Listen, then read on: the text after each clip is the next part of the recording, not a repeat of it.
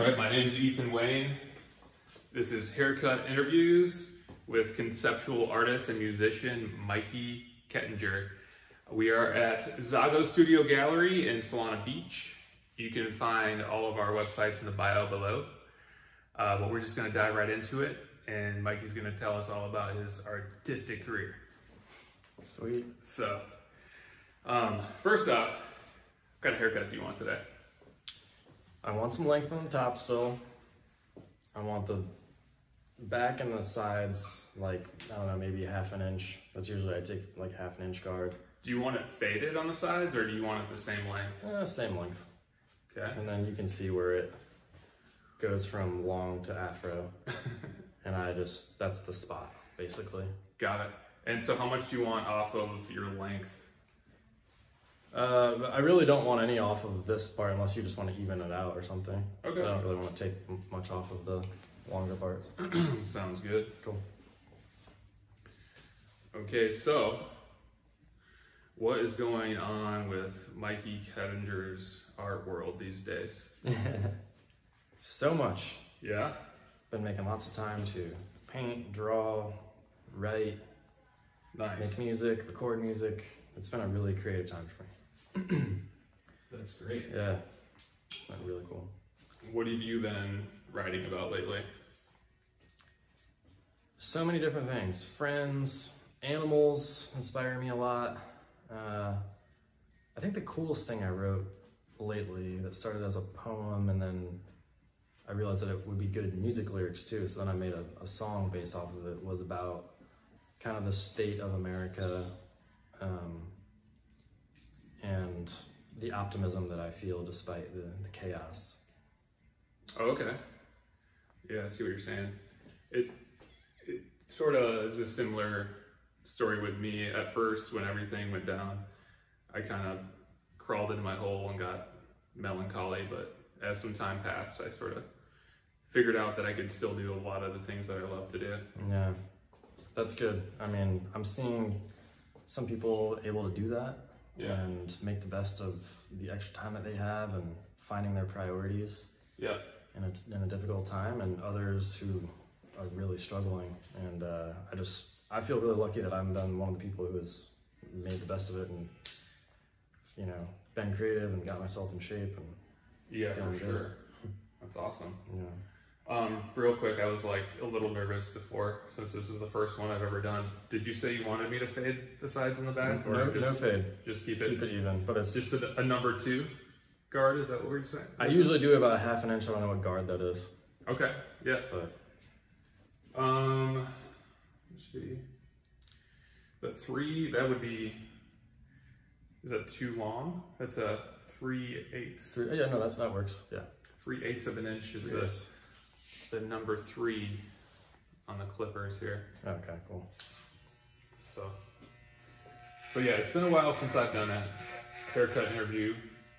Um, they're interesting. So, talking, cutting hair, recording, all that. it's, it's, a, it's a new medium. It's basically how you cut people's hair. You're conversing, but not with the camera. Yeah, But yeah, exactly. Yeah, pretty much when I'm cutting anyone's hair, it's like we become friends and they tell me way more things that I want to know about their life. well, there's an interesting thing about that too, where the the salon barbershop is known as kind of the gossip center, where maybe you know things stay there in some degree, whereas when you have a broadcasting element, you're completely doing the opposite of that. You're taking those stories and conversations and and broadcasting them Yeah, in a way that makes them no longer secret. yeah, absolutely. Yeah, so, you know, as a good interviewer, I'd like to try and get as many secrets out of you as I possibly can. So, um, why don't you tell me a little bit about your artistic journey? How did you get into the arts? Why are you still in them? What motivates you? Let's start from the beginning. Yeah, wow. Well, as long as I can remember, I loved to draw and create. You know, What would you draw mainly? my first memories of drawing are of uh, trees and cars. I remember drawing tractor trailer trucks with a rectangle, you know, and then circles for the wheels. Yeah. And I stumbled upon some kind of a instructional drawing book that taught you how to draw different vehicles. Okay. And uh, so I got And really you're and you're how old? Maybe three or four. Wow. I recall doing that and, and really liking it. And then, That's really young.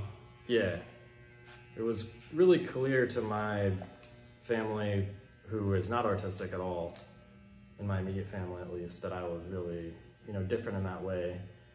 Um, and, but I just treated that as a, a fun hobby and a, um, a cool thing to keep me busy Yeah.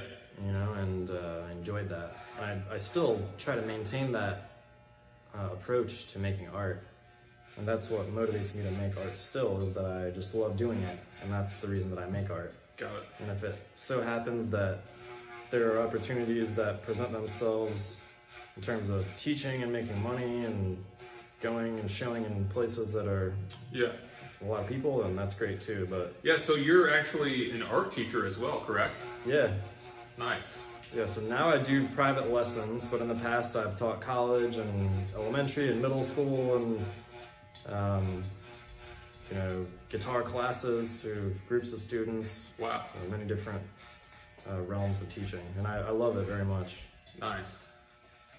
So, how many students do you have right now? Right now I have three students who I just meet one on one, ages nine to eighty. Okay. Yeah. And what can you what can you tell us about their artistic journey and how you've helped them grow as an artist? each of the students that I have right now are pretty different in their approach and in their goals. Yeah. But the thing that they all have in common is that they're enthusiastic Okay. and they listen, Uh huh. which is every teacher's dream. Sure. And a very uh, rare thing to have your students really truly listen to you and believe in what you are teaching. Yeah. Um, but because of that, I think all of my students have gotten so good, and they all were good when I on day one Yeah. I started working with them. But to Is it- see them go from good to really, really good is Yeah. 'cause amazing. They, they had their passion, but they wanted to really develop that passion and hire somebody like you yeah, exactly. to give them that guidance. And you know, without without uh, the proper guidance, it's tough to grow by yourself, isn't it?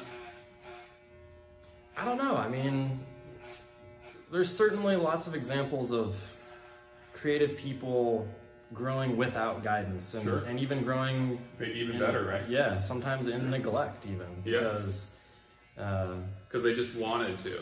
exactly. They didn't need the guidance. They just kept whittling away every day by themselves. Yeah, I think that's true. Yeah. You know, with some people, that's it doesn't it doesn't matter. They can be self-taught and be great. Um, Yeah. But I mean, at least for me and a lot of people that I know, you know, that that took me to a certain level. But having amazing teachers and mentors really can help you take it to a, to a new level. Yeah. That's awesome. So then you're in high school, you're thinking about your future, and did you know exactly what you wanted to do then, or what'd you do after high school? Well, when I was about 16, up until then, art was just uh, you know an interesting hobby for me. Yeah. I didn't see it as a, a career. But then when I was about 16, I had the opportunity to go to the School of the Art Institute of Chicago for a special. Um, it's called My hometown, by the way, Chicago. Right. Born and raised, south of Chicago, Peotone, Illinois, Park Forest. Represent. Friends with Kanye. Uh, so then I did that program, and going into that program, which brings amazing artists who are teenagers from all around the world. Yeah. And going into that, I was really intimidated, and I thought, oh wow, you know, hopefully I can just kind of be good enough to even just not stand out as being, um, you know, the worst artist in this whole group. Sure. And then after doing that for a month, I was like, oh, actually, you know, I'm thriving and I love this, and I'm definitely not, you know, And you were just 16. yeah. That's, that's everybody who was there was was like, Yeah. you know, 16, 17, 18. They were all high school students, but taking a college class Sure. and they were all i mean there were probably 95% students who were really serious artists I see. and then some people like And then you were serious at that time as well. well that's what made me serious I see. that's what Being made around, me being around these passionate artists, these passionate young artists, made you fired up. yeah seeing their passion but also knowing that i had the talent to be on that level Yeah. Do you remember which techniques that you were focusing on at the time, or was it many? Yeah, it was. Uh, I specifically took a, a drawing and painting class that was intended for people who are good at drawing to learn how to paint. I see. And uh, I had never really painted. I probably had painted, you know, five times in my life before that. In, Yeah. In elementary school or whatever. Yeah. Um, so that was a really intimidating situation. Um, but when I felt that I could do it, and my teacher, you know, believed in me and said, "No, yeah, you definitely are talented," and he was a really tough teacher. Got it. Um, but that helped me to realize that, you know, I really did have a good passion for it, and I had some skills. And then I Got it. grew really fast in that month and then from then on then i really decided that i wanted to go to college you know like you asked what i did after high school. So Yeah. then i had decided i wanted to really try to study art in college. And i got to go to the university of denver with an art scholarship right after high school. Um, Because in high school they recognized you as a great artist, or how'd you get the scholarship? yeah. Yeah i applied and i got a you know partial merit-based scholarship Wow. and um, that was a great time in my life and it was amazing things didn't work out at the university of denver i ended up transferring to florida state where i had a, a better academic merit scholarship Got but it. then that's where i studied art and really got immersed and exposed to you know conceptual art and what art can be in addition to just painting drawing Yeah. So can, can you define conceptual art for us? Conceptual art is just art that is based on ideas combined with techniques. Right. So the idea part being the emphasis, whereas Yeah. of you know a realistic painting of a landscape um, is very technical, uh, but not conceptual as the emphasis. So I'm really into conveying ideas and provocative thought through my artworks. Gotcha. I see, I see. Um, I as well consider myself a conceptual artist. Paint as draw as well. Lots of hummingbirds.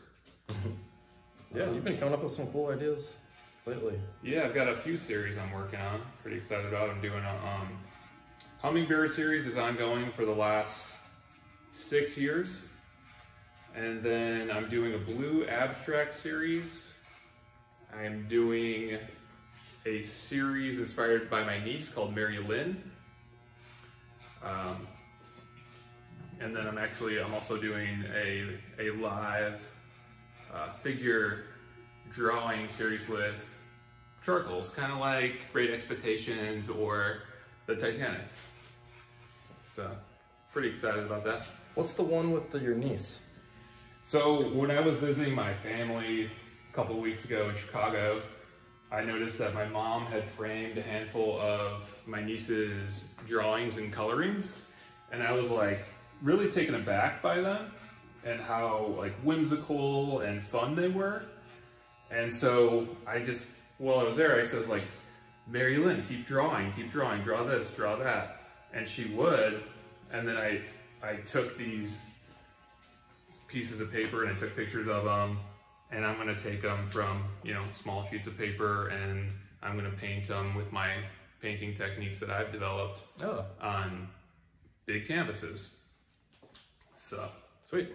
I like that idea. that's the plan there. So It's funny, man. I've never met another person named Mary Lynn, but I have an aunt Mary Lynn. Oh really? Yeah, Wow. you have a niece and I have an aunt.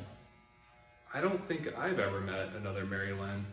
It's not the most common name, clearly. No, and, and my niece got her name from my mother and my grandmother. My mother's name is Lynn, my grandmother's name is Mary.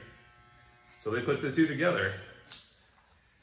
That's interesting. It, it might be uh, a Chicago thing too, because my aunt Mary Lynn is also born and raised in Chicago. Oh, yeah? Yeah, so you also spent a bunch of time in Chicago, Yeah, definitely. right? You, you were there at 16 at the Art Institute. Yeah, I studied at the Art Institute, which was mind blowing and amazing.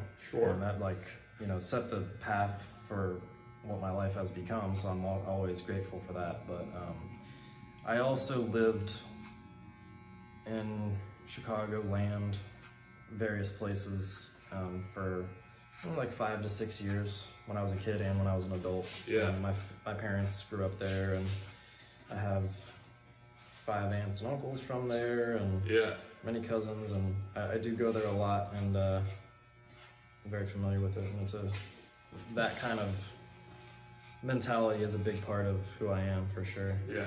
Would you say that Chicago feels like home? I would have said that maybe 15 years ago. Okay. I don't feel like that anymore. What I- feels like home now? Nowhere feels like home except Nowhere For, feels like yeah, home? now California feels like Okay. home because I live here. Got it. Because I've lived so many different places. Yeah. No one place really for that long. Yeah. I've never lived in any place longer than seven years. Yeah.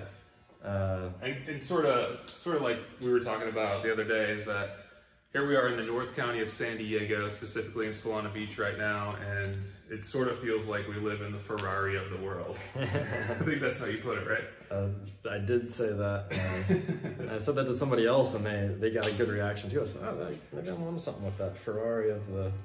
Yeah. And ever since you said that, I've been seeing way more Ferraris and Lamborghinis cruising around. This is the area for the "Hey, look at me" cars. Yeah, it is. If you were gonna have a Ferrari, what color would it be? That's an excellent question. Uh, I think I'd go white, All right. white or silver. I like that. I'm pretty sure that that snowboarder snowboarder Shaun White has a white Lamborghini, Nice.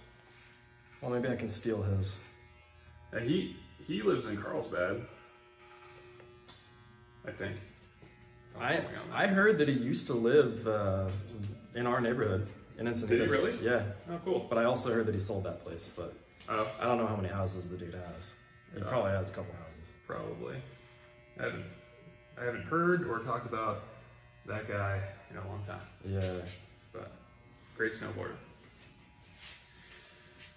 It's looking good back here. All right. Cool.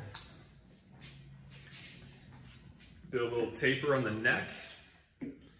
A taper means that the hair has like a gradual crescendo as it goes into the meat of the hair Okay. versus like a straight line. Um, so people say, well, you want me to square it off? That's the opposite of a taper. So, you know, you put a bunch of different size guards and flick, flick, flick, flick to get that gradual taper down. Cool. Just don't give me any vanilla ice lines. Too late. I There was no mirror, so I, I have no clue what's going on. I could look like a total moron. I thought you wanted me to carve Ice Ice Baby in the side of your head.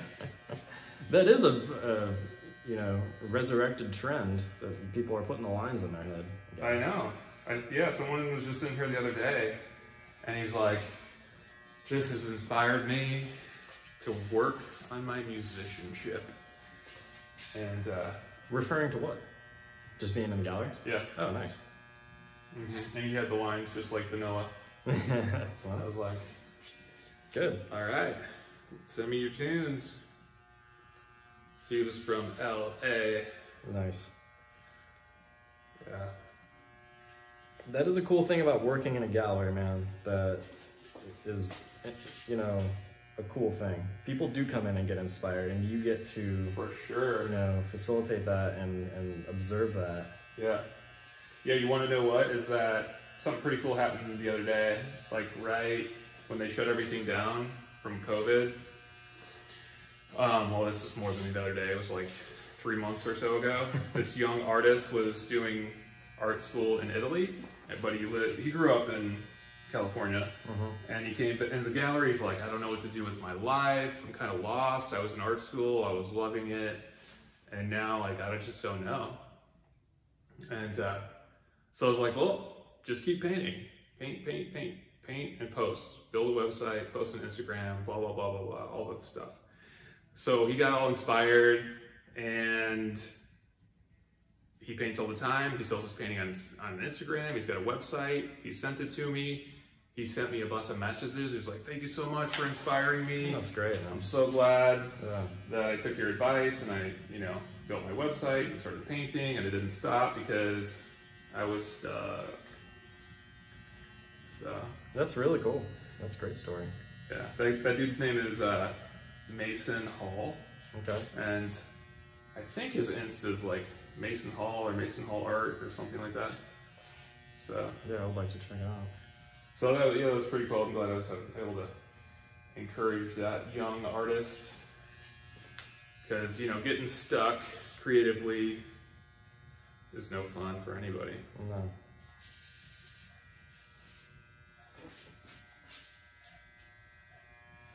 A lot of people just don't have enough other creative people or people who appreciate the arts in their life to, you know, keep that going too. Yeah, absolutely. Do you ever get stuck creatively? I definitely do, but not often. I, I've been really lucky to be inspired all the time Yeah. because I think a big part of that is because I have embraced this idea of being a conceptual artist. So I, it, I can do painting, or I can do drawing, or I can do music, or I can do video, or I can do installation. So For sure. I'm constantly working on many different things. Yeah. So maybe you get a little tired of one project, you go to another Exactly. sometimes, so it's always new and fresh. Constantly working on more than one project at the same time. Yeah, I think that's also something I found in myself that works uh, too. If I focus just on one thing, I have a tendency to get bored. Yeah. Hence, haircut interviews with Ethan Wayne. yeah, I'd always thought it'd be pretty fun to cut people's hair and interview them, especially if they were interesting, like artists or celebrities, or you know, just everyday, hard-working American folks. That can be very interesting too. Well, you're doing it right now. How is it? How fun is it on a scale of one to ten? So I'm having a great time. Hell yeah. Yeah. Me Su- too. Super good time. That's been a great day. We're at uh, Zago Studio Gallery here at Cedros Avenue and sold three paintings yesterday, delivered and hung them by incredible artist from Montreal, Isabelle Beaubien. And uh, super grateful for that in this, this uh, difficult economic time. People are beautifying their home right now. They're stuck there. They're doing the inside, the outside, increasing the value of their house. And, you know, we weren't sure what was going to happen with our gallery, but it's just been super busy. And uh, one thing we do is um, right now, we are doing a um, complimentary art curation consultation in people's homes. We'll take paintings there, put them on the walls, see if they like them. If they like them, they keep them. Um, but we normally would charge a couple hundred hundred dollars for that, and you know, right now we're just doing it to help people out, they love it. They're like, "Yeah, you can." I can know for sure if this painting works in my space before buying it, and that's extremely comforting to art collectors. So. Yeah, that's very helpful. Yeah. But uh, So, what's your music style? I don't think you've even told me anything about that. Yeah, it's rock and roll. You know, it's uh, if you want to get into kind of the subgenres of rock music, could call it art rock or psychedelic rock, indie rock. Yeah.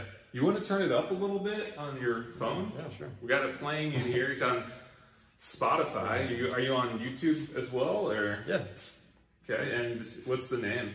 project is called Mikey's Imaginary Friends. Oh, that's So- the name of your band. Yeah. Whoa, that's awesome. When I was coming up with the name for my music back in 2006, all the ideas I came up with, I would type them in and go, okay, I want to make sure that there's no other band that already has this name. Yeah, And I don't remember what else I experimented with, but those were all taken. yeah, And I was like, all right, like, what do I do here? If I put my own name in front of it, then it will be, you know, a lot less likely that someone else already has that name. So sure.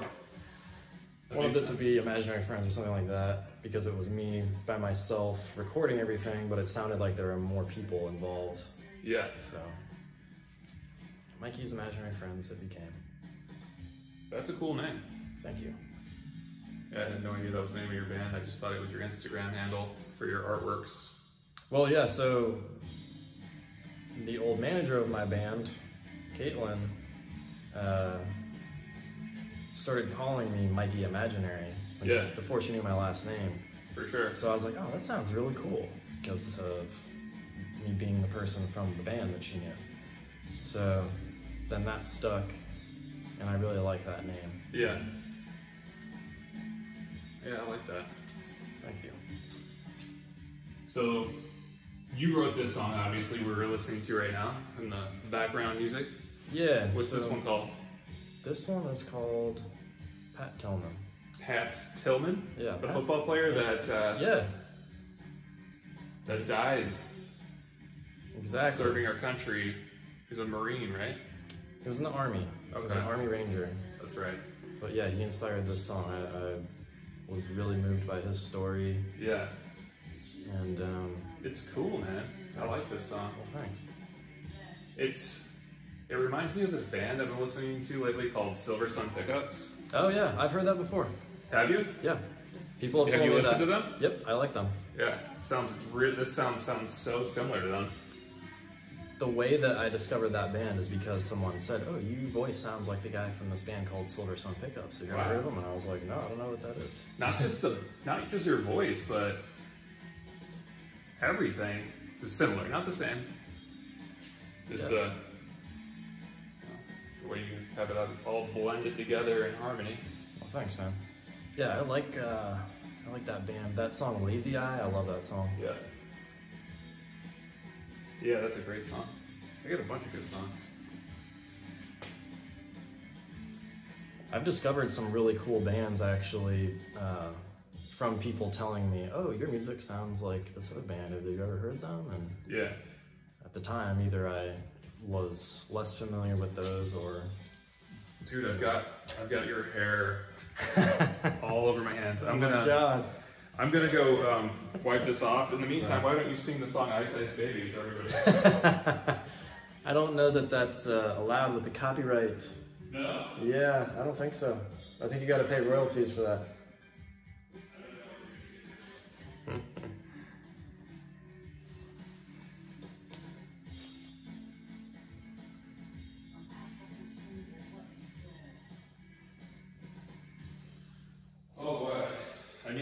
A bath towel to get this hair off. Paper towel didn't really do a whole lot. God. Um, like grooming a dog. Poodle. yeah, it's all part of the the game, the haircut game. Sometimes you get extra hairy. When was the last time you dealt with hair that that was this uh, intense? Mm. Never. Never on a guy, anyways. Um, I've had a bunch of like female hair jobs that were nightmares, of course. but when it comes to like men's hair, I spent so much time just now combing through your nappy weave. and uh, that part's over. So I'm gonna just take off a little bit, like of the ends, Cool. just kind of get them healthy again. I'm trusting your instinct, and I cannot see anything that you're doing, so it's all fine. It's it's uh it's going really good. I'm I'm gonna say that your haircut is probably like a 10 out of 10 so far. The sides and the back look incredible, and that length. Stupendous. The 3 8 inch number three guard. Taper in the neckline. The number three guard. It's an underrated guard. I think that uh, giving it good depth. The power forward guard. Well, that'd be the Really? small forward, the three. Right? You're right, yeah. No, Yeah, the three is the small forward, the four is the power forward. In Hmm. basketball terminology. Yeah, all right, Five we'll, is a we'll go center. with that. Five is the center, four is the power forward, three is the small forward, two is the shooting guard, one is the point guard. All right. That's not how it worked in Peotone varsity basketball with Mr. Maupin. But we'll go with it. With the coach that forbade you from dribbling. Yeah, So clearly, what does he know? exactly. Yeah. No dribbling, no dunking, no, No, fun. no dribbling. Am I supposed to dunk the ball? No shooting threes, even though you were 50% from the three point. Uh, No shooting threes, yeah. Unreal. It's all right. We still won the regionals for the first time in 40 years, and I did have a breakaway steal against Manteno at the other end of the court, dribbled down, and dunked it. Manteno, that's a good rural Illinois high school name. Manteno, yeah. I like that. This is looking really good. Sweet. You want to trim your beard at all, or what, what do you think? If you want, you can. I mean, I don't know. Whatever. I don't really want to. No. Leave the beard. Let's just leave it. kind of. I kind of want to go home at this point. um, it's been really nice talking with you. Uh, I'm really glad you came into the gallery. You're pretty cool. I'll probably see you around. I think. Not sure what's going on right now with this part of your hair. Um, What do you mean? just got a little bit sticking out here. I don't think the last person made a straight line in this area. well, you know who the last person in the cut was. Oh, that's right. You did it. That's that's right. Oh, that makes sense. Yeah. The last probably 10 cuts were from me. Oh, I see. Well, let's throw that three guard back on and see if we can make a little straighter line. and now that we got a head full of coconut oil, this could be a complete disaster. and you might want your money back.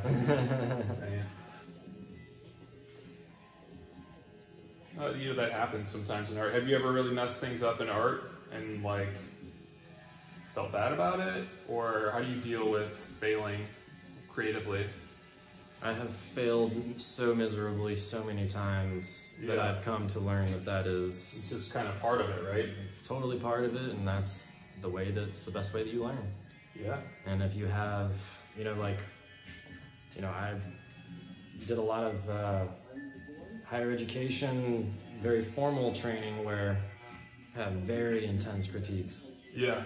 And, you know, the first couple of intense critiques, they definitely hurt me a lot more than the last couple because you Yeah. learn to not take that personally and to value that. Yeah. And um, it's really beneficial if you can do that. If you can actually listen to criticism um, and not let it affect you emotionally, then it can be extremely helpful. That's awesome, dude. Yeah, what a great lesson for people who are not artists as well. Yeah, It's just something anybody can take with them Right. in their pocket. yeah, it applies to every facet of your life, really. Yeah. Fail forward, everybody. Fail forward. Like your boy Bob Ross says, there are no mistakes. Only There are no mistakes. Oh, by the by the way, I've been playing Bob Ross impersonating every Thursdays at six. You can check out my website to see the next Zoom info, like the Zoom thing. It's called Happy Hummingbirds. I, I teach you how to paint a hummingbird every Thursday at six. Um, you spell hummingbirds H U M M N B I R D S dot com. HappyHummingbirds.com. So, Love it. um, there anything else you want to talk about before we wrap this up? I think I'm pretty much done. No, I want everyone to feel good and to be creative. Make art every day. Make art every day, everybody. All right, this is um, haircut interviews with Ethan Wayne, Zago Studio Gallery in Solana Beach. Mikey Kettinger. You can find all our social stuff, media, social media stuff, and websites in the bio. Check them out. Check out our pages. And uh, thanks for watching. Thanks, man. You got it. And the song just faded out too. see. Uh oh. I hope it didn't stop playing. Can you try to turn that off? I'm not sure if it's turned off or what.